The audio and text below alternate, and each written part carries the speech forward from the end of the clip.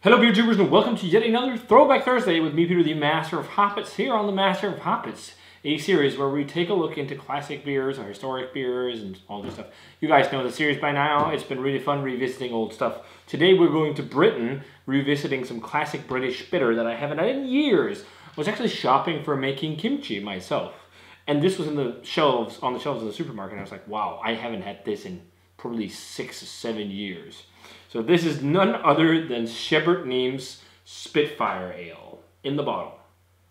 If you follow me back in the day, you can find a review of me and Jakob the Lord of Malts reviewing Spitfire, but from cans, and there's a plane going by in the back, uh, which was actually just a sound effect and us being silly. but I thought this could be fun to revisit. The only thing I don't like is this clear bottle because I can kind of already smell skunkiness uh, here. It's a 4.5%, they call it amber ale. Online it's categorized as a British bitter, but they often vary a lot in color. Uh, so it's a bitter on 4.5%, but towards the amber color made with Kentish hops and finest quality malts and well water. And I believe Shepherd Neame is Britain's oldest brewery. So I can't remember the last time I had a Shepherd Neame beer at all. Been a long time, so let's go. Here we go. Breaking out the Fuller's Nonic pint glass that I haven't used in ages. Perfect for this kind of beer. I mean, it'd be better to sit with a snifter to smell, but if you go to a pub in the UK, this is how you get it, you know? So, it looks nice. It's a nice golden amber color, copper. Head on there, it's like off-white. The aroma on Shepherd Neame Spitfire for the first time in a long time.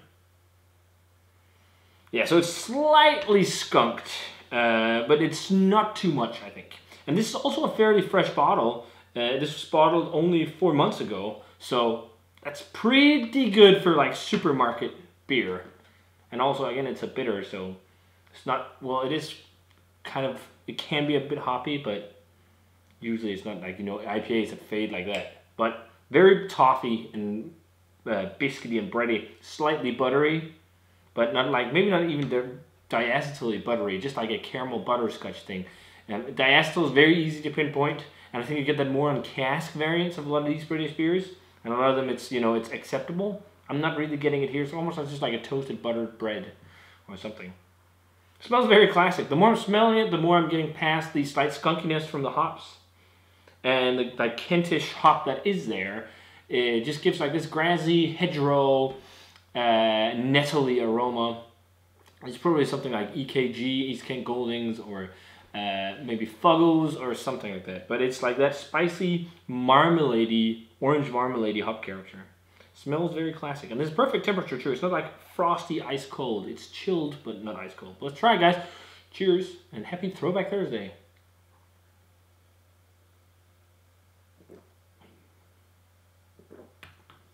That takes me back. wow. Nostalgia. Wow. Down nostalgia lane. I think I like this more than I actually thought I would. I thought I'd be like, man, this is a very nice, easy drinking beer. It is. I think I can see myself also getting into bitters again. it is super sessionable, easygoing. The only things that are pulling it down a bit is like it's got a little bit of a metallic twang and the skunkiness is not there on the aroma, but I think it's because it's more malt centric on the palate.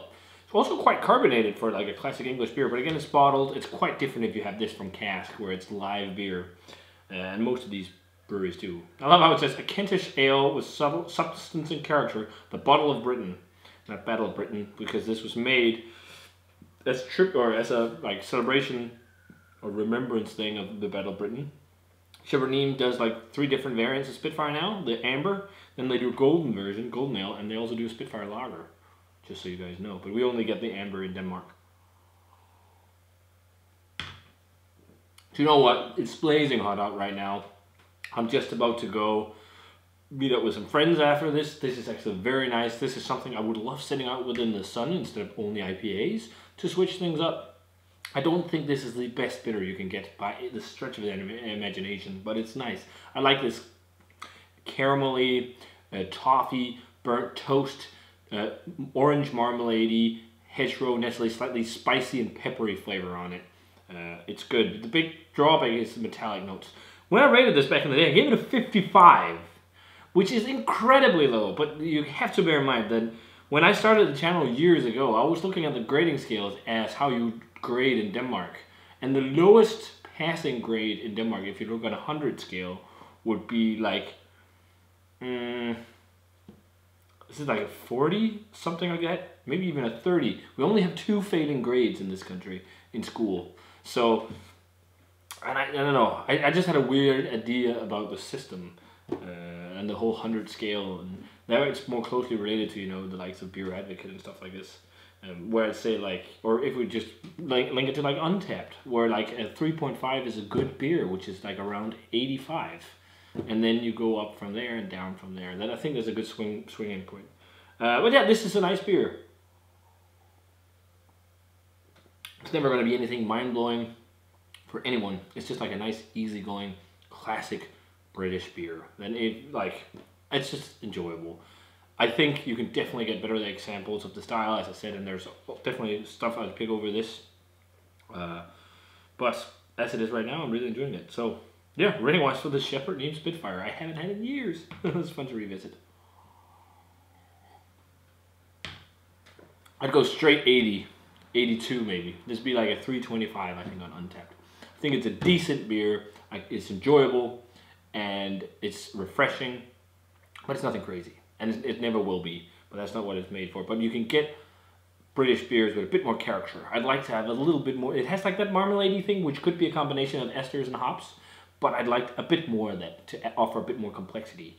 Even though it has a decent complexity for only a 4.6%, 4.5% beer, which is a lot of these, you know, classic British beers, they're very low in strength, which is actually quite nice, so you can session them. But uh, this was great, this was fun. Uh, some of you guys requested to do Rochefort. That will come soon, but it will have to be a day when I'm together with Brett or someone, because I want to do all three variants. Uh, the 6, 8, and 10. I think that's how it is. It'd be fun, I think, to revisit all three at once because I haven't had those in years either. So that'll come eventually because it was requested. But if you have any requests for Throwback Thursday, guys, feel free to let me know, and I'll see if I can find the given beer. But this was fun. So if you guys had a chance to try it, Shepherd Neame Spitfire Amber Ale, let me know what you thought of it. As always, comment, subscribe, check out the Facebook fan page and Twitter and Instagram. Give this video a thumbs up if you enjoyed it. And I'm to say cheers. And see you guys in another Throwback Thursday. And also, remember to ring the bell for more notifications about videos on the channel. Cheers.